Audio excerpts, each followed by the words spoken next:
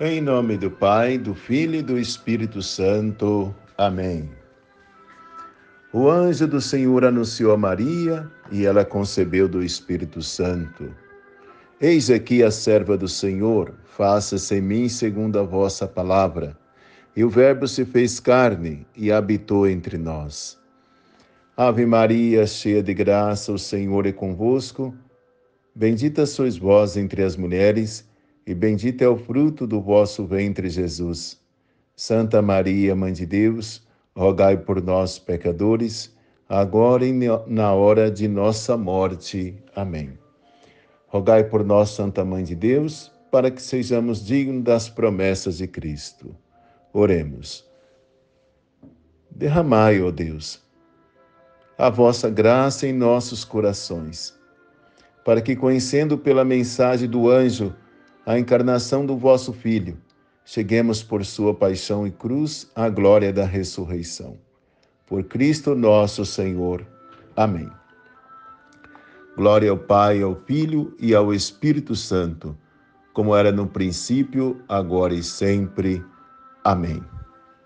Seja bem-vindo, eu sou Padre Gonzaga e hoje é dia 20 de maio. E se inscreva no canal deixe o seu like, compartilhe esse conteúdo com mais pessoas, faz o seu comentário aí, né? Faz o seu comentário também daquilo que a reflexão é, inspira em você, tá bom? A palavra do Senhor. O evangelho de hoje é João, capítulo 19, do versículo 25 ao 34.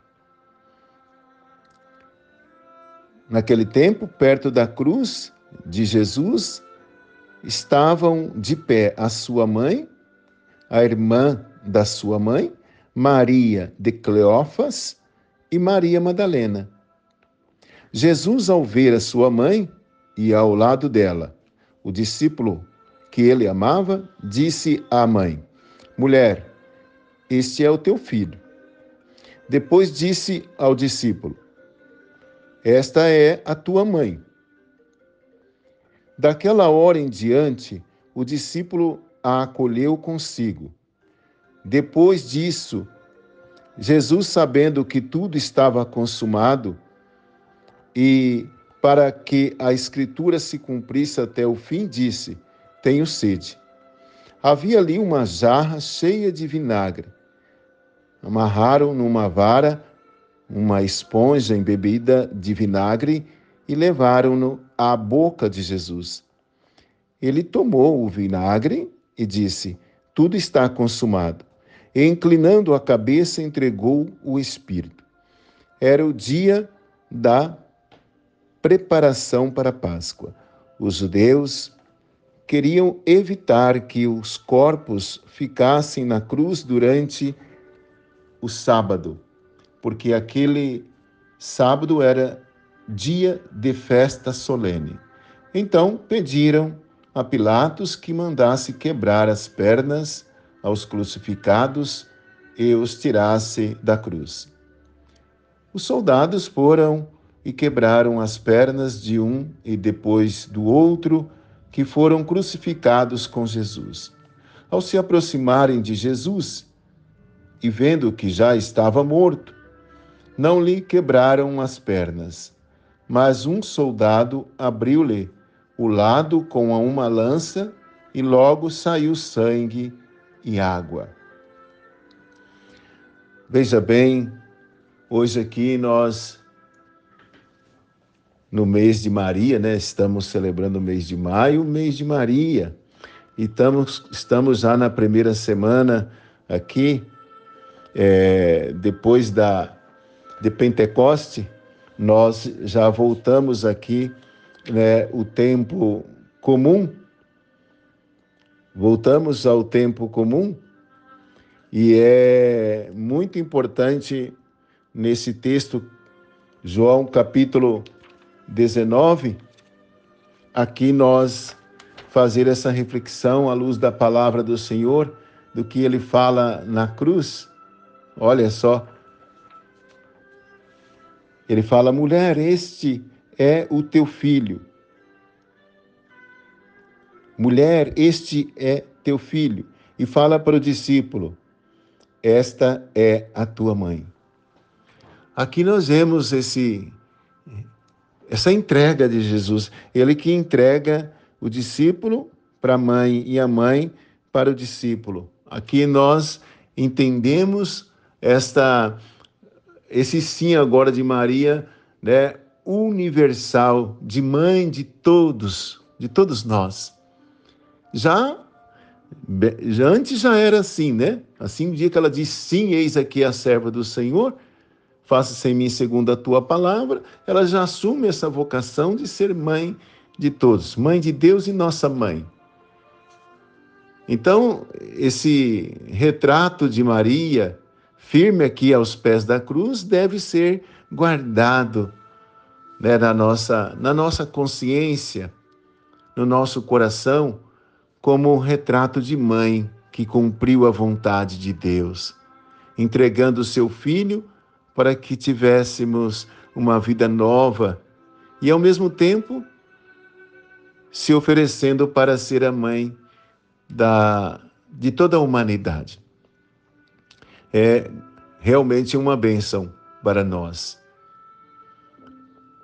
Jesus ter entregado, entre, é, integrar, é, entregado né, a, a Nossa Senhora, a sua mãe, para ser a mãe de todos. E Maria estava ali nos pés da cruz. Então quer dizer que em Maria nós somos também cheios de graça, pois ela é realmente a distribuidora, ela é a distribuidora das graças que seu filho derramou na cruz.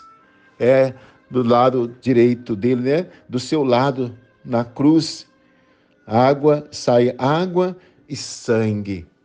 Água e sangue. A água aqui representando o batismo, o sangue, a Eucaristia. Aliás, água e sangue representando todo o sacramento né, o sacramento do batismo, o sacramento da Eucaristia, o sacramento da Crisma, o sacramento da unção dos enfermos, o sacramento da confissão, o sacramento da ordem, o sacramento do matrimônio. Sai água e sangue, a distribuidora da graça, Maria, né? ela que distribui, e aí a igreja faz esse papel a igreja tem essa, essa função de ser instrumento de salvação, né, que é esse canal da graça de Deus, para que Deus possa realizar a sua ação salvadora, dando continuidade em nome de seu Filho Jesus, sob a ação do Espírito Santo, a igreja, ela continua a missão de Jesus. Ela é, é a nossa mãe, essa igreja mãe, isso mesmo, essa igreja mãe que tem essa missão de, é, de ministrar a graça, de, de, de comunicar essa graça de Deus. Então, em Maria, todos nós somos também cheios de graça, pois ela é a distribuidora das graças que seu filho, que Jesus derramou na cruz. E justamente na cruz Jesus pronunciou as suas últimas palavras, né, que revelou a sua sede de nós. Tenho sede, a hora que ele fala, eu tenho sede. Essa sede, essa sede é de nós, é da nossa salvação, é da nossa felicidade, é de que a paz reina na nossa vida, no nosso coração, na nossa história. Então, a hora que o soldado abriu-lhe o lado com, a, com uma lança e logo saiu sangue e água, aqui está o momento que Jesus proporciona a graça para todos nós. Então, somos filhos e, e filhas de Maria. E como filhos e filhas de Maria, nunca podemos negar a nossa filiação porque é o próprio Jesus que falou: Eis aí tua mãe, eis aí o teu filho. Então, que nós possamos nesse espírito de fé e confiança, pedir esta graça à Nossa Senhora, nossa mãe, de permanecermos fiéis ao seu Filho Jesus Cristo e fazendo tudo o que ele nos disser. Que nós sejamos fiéis, obedientes à palavra do seu Filho Jesus, assim como ela foi fiel e obediente à palavra de Deus.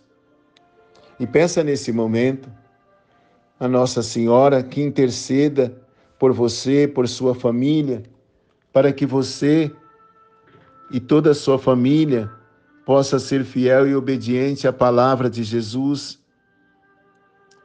e que não tenha medo, exatamente, a exemplo de Nossa Senhora, viva a fidelidade e a obediência a Jesus, que assim você possa fecundar o mundo com a semente da santidade. É através do amor, através da misericórdia, da bondade, da fraternidade, do perdão.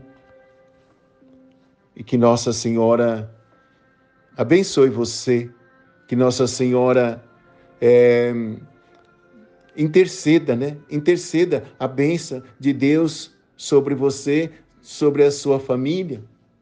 E que Nossa Senhora seja esse modelo de fé, de esperança e de amor a você e a toda a sua família e que ela esteja constantemente com, na sua maternidade, na sua missão de ser mãe, protegendo a todos nós. Por isso nós peçamos neste momento que a Maria, nossa mãe,